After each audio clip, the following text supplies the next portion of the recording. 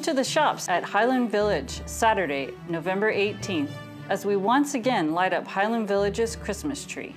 The celebration will take place on the North Courtyard and includes activities for the entire family, like musical entertainment, horse-drawn carriage rides, face painting, cookie decorating, ornament making, and Santa's arrival. Best of all, this family event is free. So get to the shops at 5.30 this Saturday, the 18th, as we kick off this year's Christmas season. Christmas in Highland Village is just around the corner.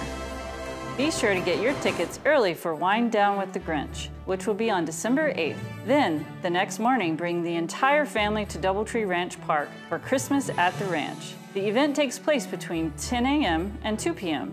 There will be plenty to do, including seeing Santa and his reindeer, snow hill sledding, bounce houses, face painting, and food vendors. Visit hvparks.com for more information on all of our events.